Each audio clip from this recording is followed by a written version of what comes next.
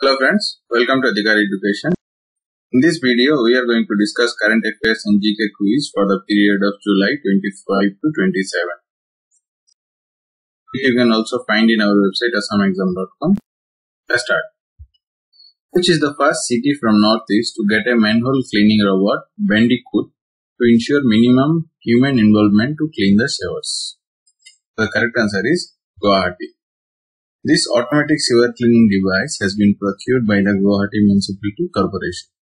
The device was developed by a startup India company called Gen Robotics under the Make in India initiative. It was funded by CSR activities of Indian Oil Corporation Limited. Guwahati is the third city in the country to procure this innovative technology to clean manhole after Gurgaon, Gurgaon and Coimbatore. Which state government has recently deployed drones and anti-depredation quick response vehicles to guard forest areas? Correct answer is Assam. These drones would be able to narrowcast any purported movement of the poachers and would delve a blow to poaching in the national areas, wildlife sanctuaries and other reserve forests.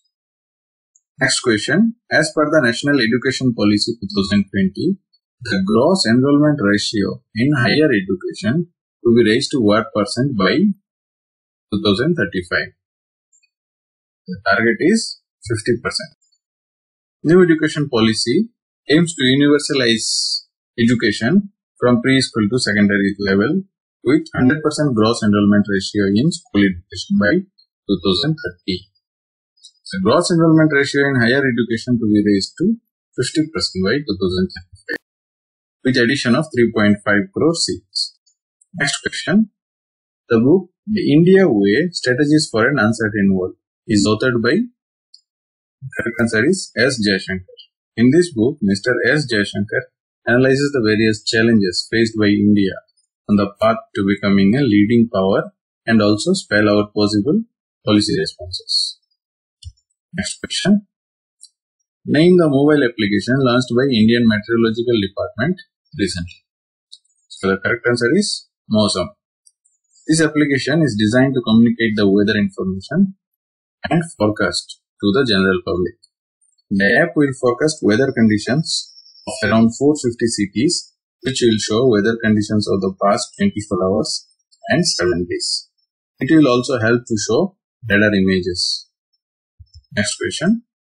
Government of India recently inaugurated world-class state-of-art honey testing laboratory in which state? So the correct answer is Gujarat. This honey testing laboratory was established by National Dairy Development Board in Anand, Gujarat with support of National Bee Board. Food Safety and Standard Authority of India has now notified new standards for honey, bee beeswax and royal jelly. Next question. Which institute has recently developed a medical bed isolation system named ASHTA? Correct answer is DIAT, Defense Institute of Advanced Technology. This medical bed isolation system is a low-cost, reusable solution to maintain proper isolation of COVID-19 patients. The product is modular and portable in design and it can be suitable for different requirements. Next question. Green agriculture. A project funded by Global Environment Facility was launched in which Indian state recently? Correct answer is Mizoram. Mizoram is among the first state where the project is to be implemented. The other four states in where this project will be implemented are Madhya Pradesh, Odisha, Rajasthan and Uttar Pradesh. Next question. Who represented India in 6th BRICS Environment Ministers meeting through video conference? So the correct answer is Environmental Minister of India, Prakash Javadekar. BRICS is an acronym for the combined economies of Brazil, Russia, India, China and South Africa. The BRICS summit took place in 2009 in Russia and it focused on issues such as reform of the global financial architecture. Later on, South Africa was also invited to join BRIC in 2010, after which the group has adopted the acronym BRICS. Next question.